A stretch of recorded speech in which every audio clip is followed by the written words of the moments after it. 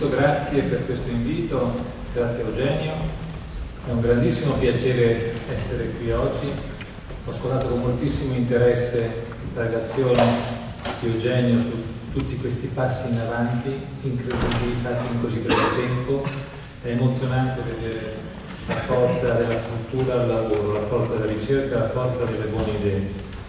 È un piacere essere qui con uh, tanti amici, con Carlo Rubbia, con Nando, con, con il ministro Profumo, col sindaco Celente e con tanti altri amici dell'NFN. Quello che vi racconterò oggi è un punto di vista diverso che è permesso dal fatto che siamo circondati dallo spazio, possiamo andare nello spazio e dallo spazio possiamo avere modi di vedere il mondo diversi da quelli a cui siamo abituati. Mentre sentivo raccontare i progressi di, del, del, GSSI, eh, pensavo che quello che sto per raccontarvi in qualche modo è, for, è fortemente collegato a quello che state facendo qui all'Aquila. Lo spazio infatti dà l'opportunità di cambiare il sistema di riferimento, è come guardare le rovine dell'Aquila e pensare ora che facciamo e pensare di investire nelle persone e nella cultura piuttosto che semplicemente solo rimettere assieme i pezzi dei cocci che si sono rotti. E lo spazio sistematicamente permette di guardare alla nostra realtà da un punto di vista diverso. Per esempio questo puntino sullo sfondo del cielo, noi siamo qua, questo puntino dov'è? Chi l'ha presa questa fotografia? Vedete, non, non siamo proprio nello spazio, ci sono delle montagne sullo sfondo. Noi siamo lì, quella è la Terra. Chi è che può aver preso la Terra rendendola un puntino su uno sfondo appena visibile?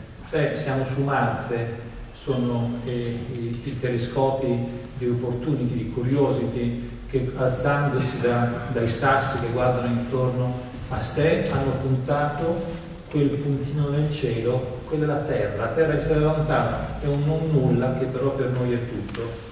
Altre cose dello spazio sembrano diverse, guardate questi micrometeoriti che, che entrano nello spazio dall'atmosfera, nell'atmosfera dallo spazio.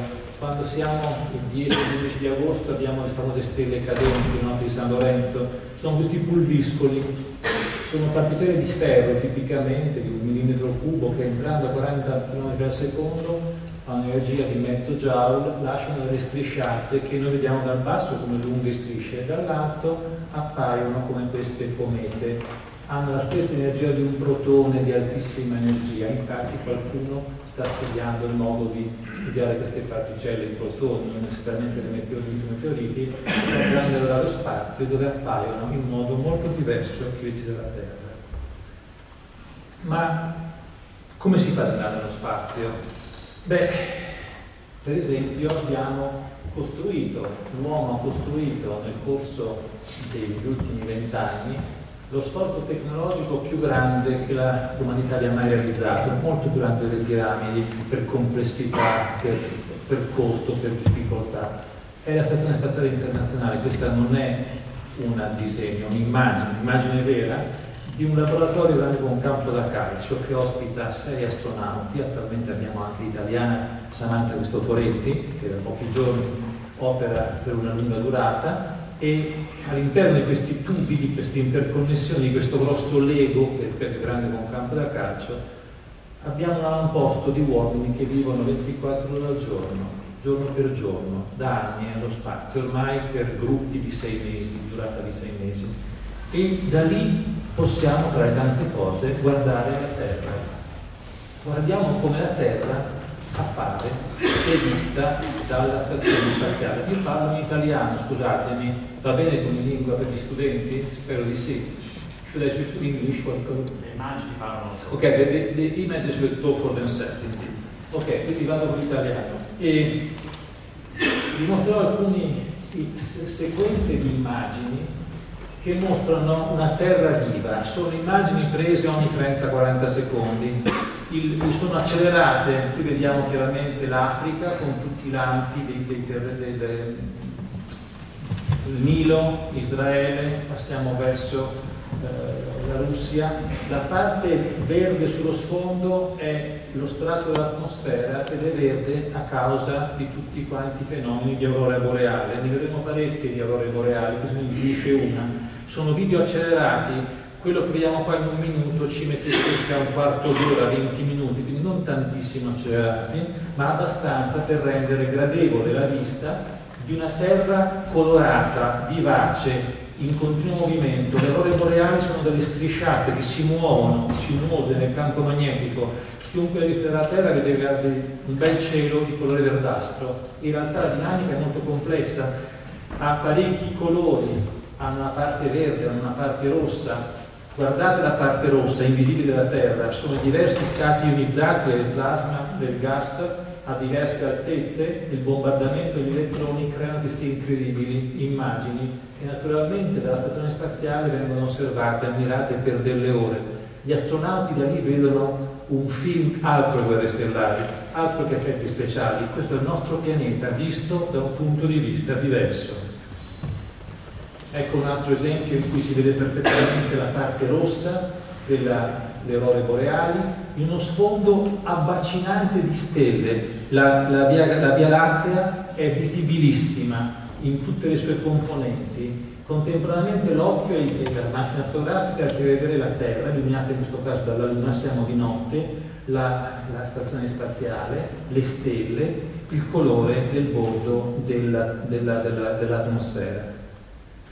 E se noi camminiamo attraverso la costa dell'ovest dell'America, ecco la California, si riconosce, aspetta questo questo è un altro, no questo è un altro, qui torniamo invece in Europa, ecco l'Italia vista dall'alto, con la sua caratteristica stivale, assolutamente inconfondibile, è un posto veramente bello in cui vivere. E qui vediamo come nello spazio non solo tramontano 16 volte al giorno eh, tutte le stelle, il Sole in particolare, ma anche le comete. Vediamo il sorgere di una cometa. Questa è una cometa che da Terra si vede a malapena, dallo spazio era visibilissima sul fondo delle stelle.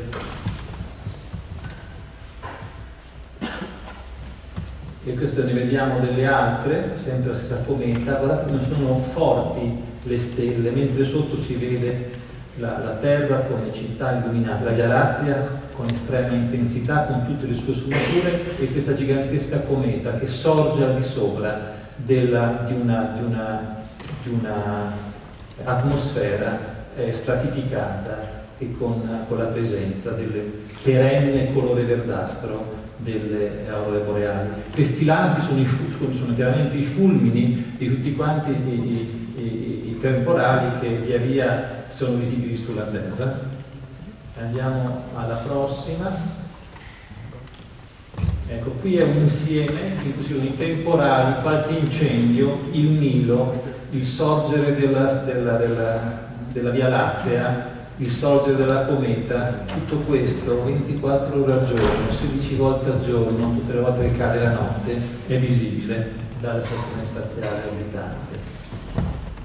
Questo invece è un'altra visione, sicuramente siamo sulla parte occidentale, da quante città si possono vedere sull'America.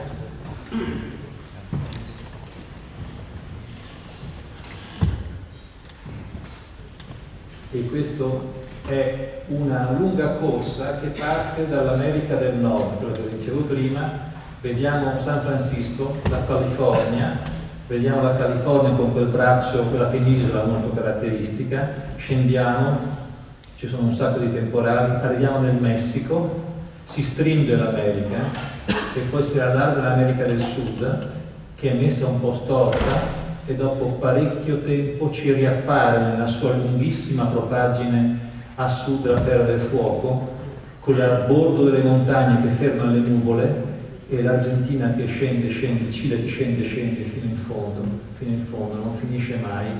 Questo è dallo spazio, come appare realmente la Terra in cui viviamo. Bene, questo è possibile al giorno d'oggi con le tecnologie che l'uomo ha sviluppato, sviluppate in un tempo brevissimo. Le cose di cui eh, vi ho mostrato sono di fatto tecnologie degli ultimi 30-40 anni. Eh, le scoperte fisiche che l'hanno rese possibili datano da Galileo Newton in poi, ma la tecnologia che ha permesso di andare nello spazio, sappiamo, ha poco più di 50 anni. E in 50 anni sono successe queste cose incredibili. Bene, io quando voglio raccontare quanto velocemente si sta sviluppando la tecnologia e quindi quanto è importante che noi non si perda il treno della cultura della ricerca, eh, porto questo esempio, la cometa, parliamo tanto della cometa, tra poco parleremo di nuovo della cometa di Rosetta, ma la cometa è qualcosa di presente da sempre nella nostra cultura, nella nostra storia nel 1304 Giotto dipinge gli Scrovegni e riproduce una cometa apparsa in quel periodo nel cielo, infatti è particolarmente brutta. Giotto era un grandissimo, era un genio della pittura, faceva dei, dei quadri meravigliosi, dei dipinti meravigliosi, aveva perfino inventato la prospettiva ante Brunelleschi, guardate questa bellissima capanna, e fa questa bruttissima stella cometa, perché? Perché l'aveva vista in cielo Giotto copiava la natura con precisione, non si è inventato la stella con la coda che compriamo al supermercato, aveva visto la cometa di Halley che passava nel cielo in quel periodo ed era visibilissima e l'ha copiata. Passano sei secoli. Le prime fotografie dell'inizio del secolo scorso hanno permesso di fotografare per la prima volta nel 1910 la cometa di Halley in uno dei suoi passaggi successivi. Passano 76 anni la sonda Giotto, non a caso porta il nome del pittore, riesce ad avvicinarsi alla cometa di Halley, ad arrivarci a poche migliaia di chilometri, a prendere delle immagini e trasmetterle sulla Terra, 76 anni. Siamo nel 2014, tutti quanti sappiamo che sulle comete adesso ci atterriamo sei secoli per passare dalla pittura alla macchina fotografica, 76 anni alla macchina fotografica a un satellite che si avvicina, un'altra trentina d'anni per poterci atterrare.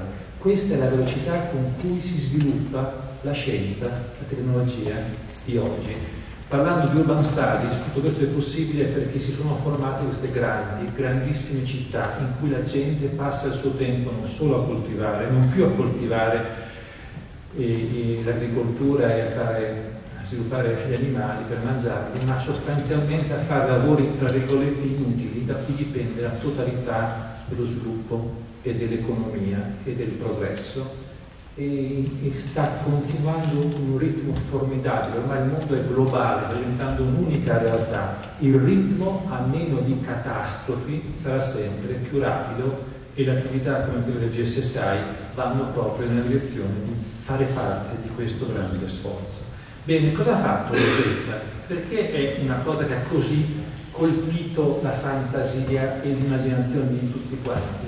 Beh, innanzitutto ci sono 12 anni di viaggio nello spazio con un preciso obiettivo, andare a chiappare un non nulla nel vuoto assoluto. Il non nulla è una piccolissima cometa, brutta come poco, un insieme di sassi attaccati casualmente, grazie a un modo molto intelligente di sviluppare l'orbita passando una serie di assist sulla Terra, su Marte, per dare la spinta necessaria a questa eh, alla, a Rosetta che si portava a bordo file, a un certo punto siamo riusciti, Rosetta è riuscita a entrare, un altro assist, nell'orbita della cometa che intanto faceva i suoi giri, uno in 6-7 anni, e fin, ecco che passa la cometa, nel frattempo Rosetta con la spinta giusta sta per entrare col terzo gravity assist, incomincia l'inseguimento finale, siamo nel 2010, l'inseguimento finale continua, continua, continua, inarrestabile, va in ibernazione nel 2011, rimane ibernata fino al 2014, si risveglia da sola, senza alcun comando, e incomincia ad avvicinarsi negli ultimi 100, 200, 300 chilometri. E a questo punto è storia di nostri giorni. Ad agosto arrivano le prime foto della cometa e a novembre arriva il famoso atterraggio. Bene, che cosa è successo? Eh, eh, prima di tutto Rosetta si è avvicinata alla cometa a distanza di divisibilità la cometa è un sono due sassi attaccati, ghiaccio e roccia, polvere, eh, che gira, gira, in questo ritmo radi- velocemente. Vedete che passa, passa, il tempo, 15 ottobre, l'orbita 19 km, sono orbite finte queste, non sono orbite nel senso newtoniano del termine, la gravità della cometa sostanzialmente è inesistente per cui sono orbite stranissime in cui continuamente vengono dati dei comandi, viene aggiustato il tiro per obbligare la sonda a girare intorno a un oggetto che di fatto non attrae praticamente niente. È l'orbita di una mosca impazzita, di una zanzara, di un insetto, sono orbite triangolari, orbite quadrate, orbite fatte dall'uomo a 500 milioni di chilometri di distanza dalla Terra. Bene, questo durato circa un mese e mezzo, avvicinandosi e allontanandosi, a un certo punto, nell'ultimo periodo, poco prima della, della, della, del lancio, si trasferisce a un'orbita eh, di circa 20 km, guarda la complessità di queste orbite, e a quel punto viene lanciata con un sasso che viene lanciato diritto, senza gravità, non ci sono parabole. Viene lanciata file e queste file che inizia a cadere a velocità di un metro al secondo e un metro al secondo è la velocità con cui camminate grosso modo e quindi fate cadere file verso la direzione a un metro al secondo ricordatevi questa è la fotografia vera del pianeta della, della cometa ricordatevi che la velocità di fuga in queste condizioni è 0,8 metri al secondo, quindi la si butta giù leggermente più veloce di quanto non sia eh, la velocità di fuga. Se la, eh, la Sefile fosse rimbalzata senza dissipare energia, l'avremmo persa perché aveva una velocità più alta di quella di fuga. In realtà era pensata in questo modo l'atterraggio, questa è una ricostruzione, veniva staccato file, che è un oggetto grande come una piccola scrivania, a velocità di un metro al secondo avrebbe dovuto arrivare verso la cometa, nelle vicinanze della cometa avrebbe aperto le sue zampe, le zampe sono dotate di alcuni viti che entrano nel terreno una volta che il contatto sia mantenuto. Vedete che entrano nel terreno? Ma il contatto deve essere garantito da due arpioni e da una controspinta di un razzo che l'avrebbe schiacciata contro la superficie. In realtà cosa è successo? Gli arpioni del razzo non hanno funzionato. Essa era atterrata la, l'assorbimento degli stantuffi di, de, de, delle, bra, delle, delle gambe hanno assorbito tre quarti dell'energia a disposizione. E quindi il rimbalzo che ha fatto era di soli mezzo chilometro, mezzo metro al secondo al di sotto della velocità di fuga e quindi ha fatto una cosa incredibile, ecco che la vediamo fotografata da Rosetta alle 15.14, 19, 23, mentre si avvicina alla superficie, arriva al punto di contatto, la foto presa alle 15.43 mostra un'impronta che alle 15.18 non c'era, quindi ha toccato in quel punto, si è rialzata, pesa 100 kg file, ma in quel contesto pesa come un grammo, è un foglio di carta che è sceso ha sbattuto, ha rimbalzato, ha fatto un secondo salto che è durato quasi due ore, lentamente, si è alzata di quasi un chilometro, ma la sua velocità di fuga era più, di velocità a quel punto era più bassa di quella di fuga, è rimbalzata una seconda volta e poi si è incastrata nel famoso cratere da cui ha incominciato a fare le sue misure. Una cosa che ci diciamo sempre all'ESA è che questo modo di atterraggio a rimbalzoni era quello inizialmente concepito dagli scienziati. Poi sono arrivati gli ingegneri che hanno detto non funzionerà mai, occorre l'arpione, occorre la controspinta, e hanno messo l'arpione e la controspinta. Non hanno funzionato e grazie al cielo l'assorbimento degli stantuffi dei, delle, delle, delle, delle, zampe di stile ha permesso un rallentamento sufficiente che al terzo rimbalzo è rimasta attaccata alla cometa un pezzo di fortuna in una missione difficilissima, bastava poco e avremmo perso il momento magico dell'atterraggio sulla Luna. E questa è la foto che ha fatto il giro di tutto il mondo in cui incastrate in questo crepaccio ancora la stanno cercando, non si capisce bene dove sia, perché un puntino in una zona d'ombra, non è facile rivelarla, però ha permesso a, nelle, nelle 30, 62 ore che ha lavorato e ha preso dati sulla polvere, sui, su, sulle immagini intorno a sé, ha preso questa immagine per entrare nella storia in cui c'è la zampa di file, non si capisce bene se è appoggiato oppure no alla superficie, mentre fotografa questo pezzo di roccia orribile e meraviglioso allo stesso tempo che accompagnerà per i prossimi 100.000, un milione di anni, perché una volta che è incastrata è una zona molto stabile della cometa, probabilmente nessuno più la porterà via. E chissà, magari tra qualche mese dovrebbe anche risvegliarsi. Bene, siamo andati sulla stazione spaziale a 500 milioni di chilometri, adesso vi porto molto, molto, molto più lontano. Vi ricordate Carl Sagan, Pale Blue Dot?